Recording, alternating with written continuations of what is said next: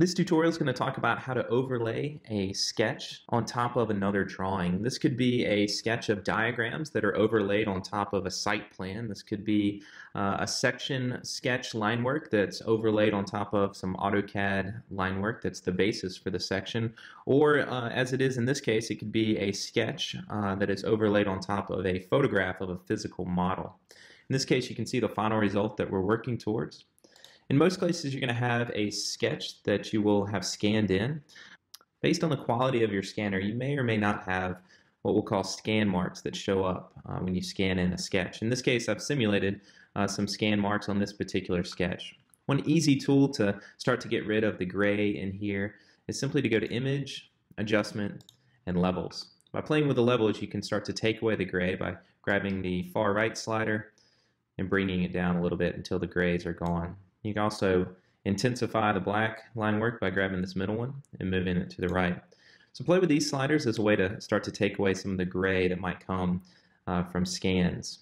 After this step, you might also use your eraser tool to erase any specks that might show up. Now the first step is to take this sketch and actually place it on top of the picture of the model that we want to combine this with. To do this, what we'll do is we'll say Control or Command A to select all, Control or Command C to copy. We'll then click back on our photograph of the model and Control V to paste. Now it's very common for a scan to be a different size of the photograph that you've taken. In this case, it's much larger than the actual photograph of the model. I'll use my free transform tool to begin to shrink this to the actual size of the photograph. We'll zoom out, do Command T in my case. I'll hold Shift while clicking on the corner and this will keep it proportional. I'll pull this down to the, the size of the photograph and hit enter. We'll hit command zero to zoom back in. The next step is to change the layer mode from normal to multiply. This allows us to see through the white and begin to line up our sketch with our drawing that's underneath. Now in this case, it's a really good practice to actually put some guide markings that are going to help you in this alignment process. In this case, I've put this tick mark right here, which I know needs to align with this piece right here. I've also created this tick mark over here that needs to align with this corner so I know that I need to rotate my sketch to actually get this in the right spot. To rotate, what I'm going to do is engage my free transform by hitting Command T and zooming out. I'll grab this center piece right here, which will allow my free transform to rotate around a specific spot. And I'm going to put that right on the corner where I know these two pieces match up. I'll then grab outside the box and begin to rotate this until this line work matches up. I'll do both the rotation and holding shift and making this a little smaller.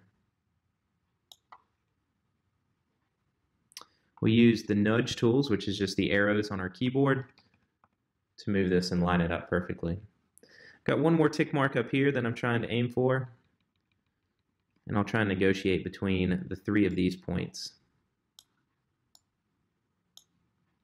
Once I feel good about its location, I'll hit enter to lock this transform in. Now in some cases, simply multiplying the layer with your sketch on top of the base or the background image in this case is all that you'd want to do. That would be the case of AutoCAD line work with a sketch on top of it. In some cases though, it might be nice to invert the line work color from black to white and overlay that on top. I'll do that here. The first thing I'm going to do is add a new layer on top of the background layer.